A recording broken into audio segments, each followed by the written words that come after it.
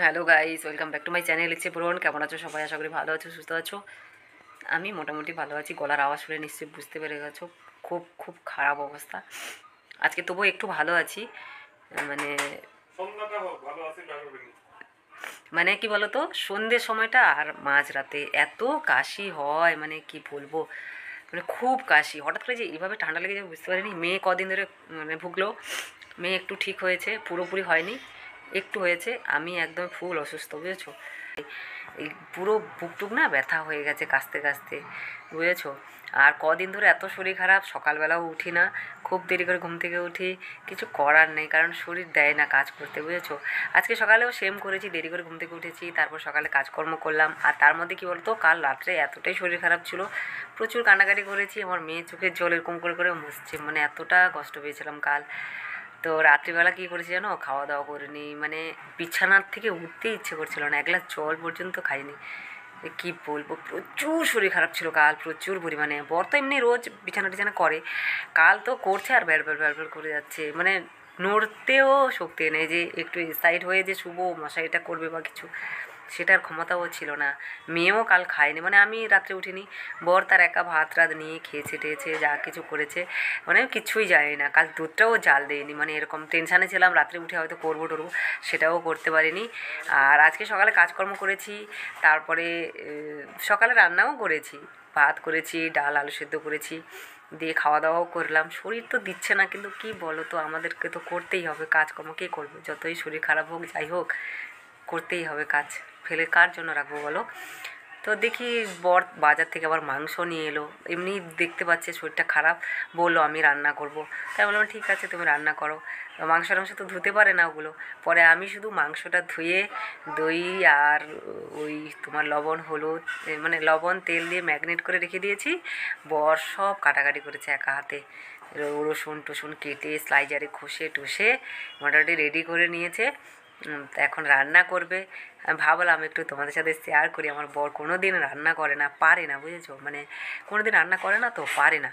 ওই আমাকে বলে টলে দিতে হয়, এটা দাও, ওইটা দাও ওইটা দাও ওইটা দাও, ওইভাবে বলে টলে মোটামুটি রান্না করাতে হয়।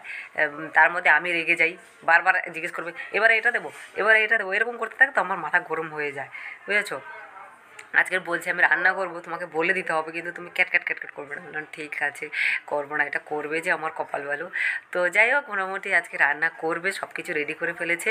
তো চলো তোমাদেরকে দেখাই আমার বর আজকে রান্না করবে ফার্স্ট টাইম চলো তোমাদেরকে দেখাই। তুমি আলুটা ভাজলে না আগে? না ভেজেও দেয়। থাক ভাজতে হবে না। এ করো না আদা। স্টিম কমাও স্টিম কমাও। হুম ওই ছোটো থাক।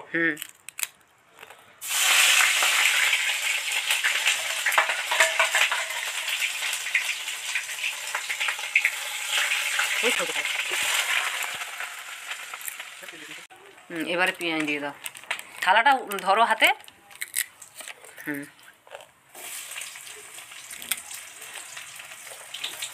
শুরু করে দিব। হুম। পেঁয়াজটা একটু ভেজে নাও তারপরে রসুনটা দিও। হুম। বাবাই। বাবাই কাজ করে। বাবাই কাজ করে। এবারে স্টিমটা বাড়াও। কেমন কেমন যায় দেখেছ?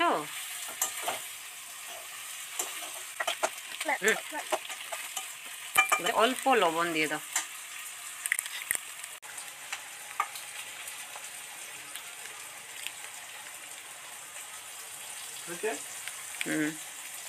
পরে দেবে এখন দিও না আর। হ্যাঁ দিয়ে এটা নেড়ে একটু ভাজা ভাজা হোক তারপরে রসুন দেবে। দাও।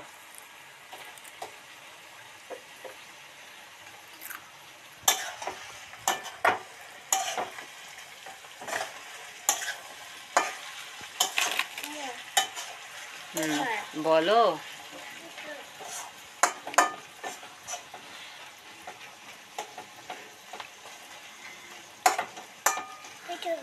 একটু খাবে? দিচ্ছি। রসুন দাও। না আলু পরে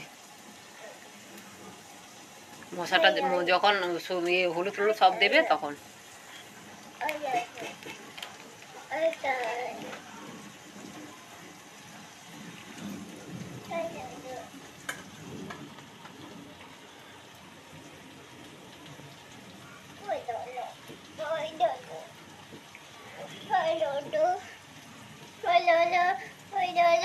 ওইটা যাচ্ছি যাচ্ছি।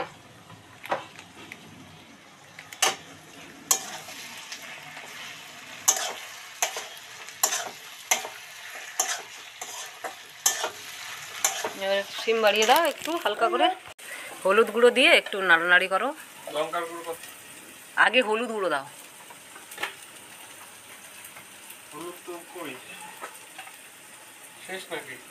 না না। কীভাবে দিব এখন চামচ নাই কি দিবেন হলুদ আরও দিতে লাগবে ছাড়ো ছাড়ো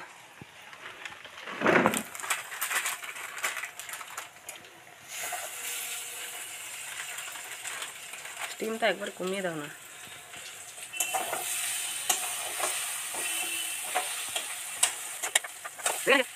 না হলুদ ফুল দিতে লাগছে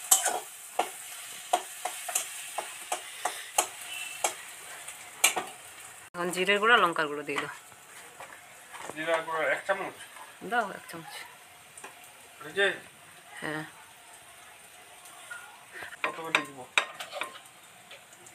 দেড় চামচ দাও। দাও? আর একটু দাও। হুম। হুম। আলুটা দিয়ে দিব। নাড়ো এখন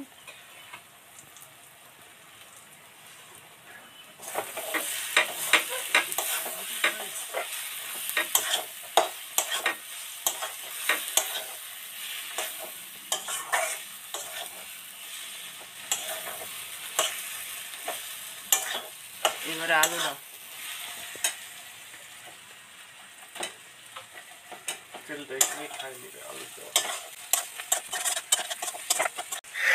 তো দিয়ে দাও এখন চিকেন চিকেনটা বেশি ভালো বেশি বলো তো?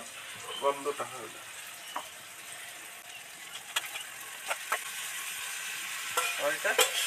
ওটা একটু একটু জল দিয়ে পরে দিব এখন না। ওটাতে অল্প জল দিবে পরে।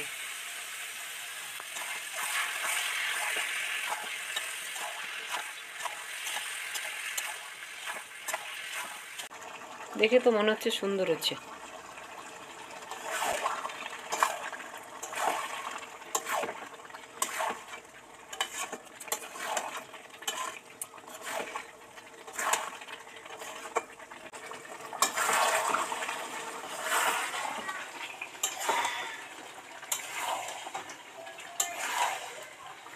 কালারটা খুব সুন্দর হয়েছে।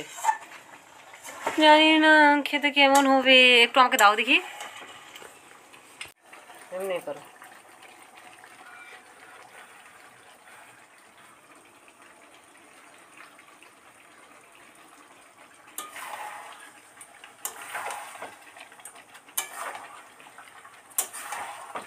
লবণ লাগবে লবণ। না কারণ কি বলতো আমি দই টইতে মানে ম্যাগনেটের সময় লবণ দিয়েছি। তুমি আবার ইয়ে করার সময় লবণ দিয়েছ পেঁয়াজ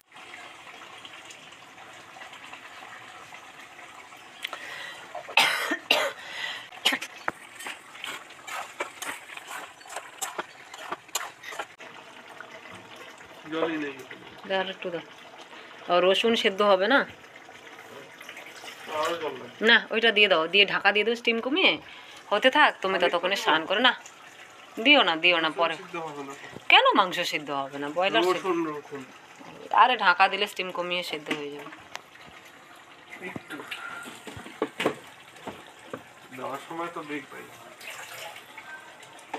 আই পুড়ে যাবে না আবার দেখো। দাও, দিতে থাকো। হয়েছে। ওর স্টিম কমিয়ে দাও একবারে। হুম। এই তো এনেছি। কি কি? গরম। দেখো, আজকে বর রান্না করেছে দেখে নিয়ে এসে খাচ্ছি এখন কষা মাংস, বুঝেছ? ও খেতে চাইছে, ভাবলাম এখন যদি খায় দু এক পিস খাইয়ে দিই। আমারও খাওয়া হয়ে যাবে একটু। গরম না বাবা? গরম।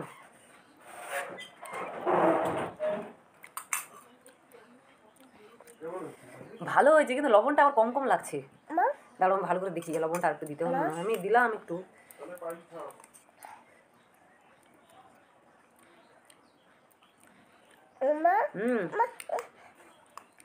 ঝাল হয়েছে গো সেই। হুম দাঁড়ো বাবা গরম তো। ঝাল দিয়ে ঝাল দিয়ে টেস্ট করছি, কেমন রান্না করেছে, মেয়েও খাচ্ছে। ভালোই হয়েছে, খারাপ হয়নি। আর সবসময় কি বলতো? একা রান্না করি, খাই। আর অন মানে কি, অন্য কেউ রান্না করলে খারাপ হোক চাই ভালো হোক, ভালোই লাগে খেতে, তাই না? তো আজকের দুপুরে রান্না আমার বরই করল, বুঝেছ? শরীর খারাপ দেখে আমার বর আজকের চিকেন রান্না করে আমাকে খাওয়াচ্ছে। আমার মেয়েকে দেখো, ঘুম থেকে উঠে কান্না শুরু করে দিয়েছে, দেখো দেখো। দেখো কেমন কান্না করে। রান্না হয়নি তো বাবা এখনও রান্না হয়নি। একটু বাকি আছে বলো বলো। চলো চলো তোমাদেরকে দেখাই। হয়ে এসছে রসুনও দেখি সেদ্ধ হয়ে গেছে বুঝেছ? খাবে তুমি? আমি কি সুন্দর হয়েছে। দারুণ হয়েছে কালারটা দারুণ দারুণ। খাবে?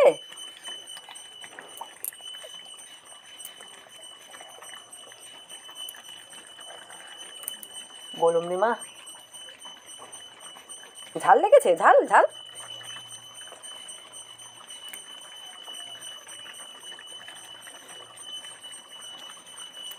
কান্না থেমে গেল। বুঝেছ, রান্না প্রায় কমপ্লিট বরেরও স্নান হয়ে গেছে। বর এখন ঠাকুর নম করছে। লবণ টবণ সব ঠিক আছে, দেখে নিলাম। আজকের আমার বর, আমার জন্য চিকেন রান্না করেছে। শরীর খারাপ দেখে আমার বর আমাকে চিকেন রান্না করে খাওয়াচ্ছে বুঝেছ? কি আরও খাবে? তাহলে বাটিতে নেই? তুমি খাবে? খাবে? বাটিতে নেব? খাবে না। ওইরকমই চেকে চেকে খাবে। তা তুমি বসে খাওয়াবো। বসে বসে খাবে চলো। কি? গ্যাস অফ করে দিয়েছ? লাইটটাও জ্বালাওনি অন্ধকার।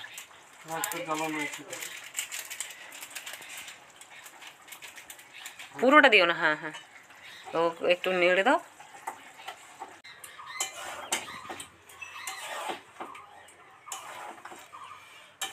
ছাড়ো, ছেড়ে দাও। ঢাকা দিয়ে দাও।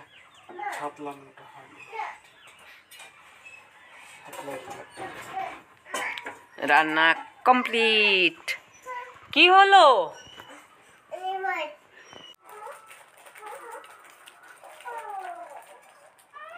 লবণ, কতটা দিয়েছ গো শেষে? আমি বললাম। ও বরে রান্না কমপ্লিট হয়ে গেছে বাড়িতে নিয়ে এসেছি, খাচ্ছি। ভালো হয়েছে মাংসটা? আজকের বর পুরোটাই একা হাতে করে রান্না করল, বুঝেছ? আমি বলে দিয়েছি ঠিকই, কিন্তু ওই সব কিছু করল, ভালো হয়েছে খেতে। তো চলো আর কিছু বলব না, আজকের ব্লগটা এই পর্যন্ত। অসুস্থ দেখি আজকের বর আমাকে চিকেন রান্না করে খাওয়ালো। তোমার সবাই ভালো থেকো, সুস্থ থেকো সেফ থেকো। বাই বাই দেখাবে নেক্সট ব্লগে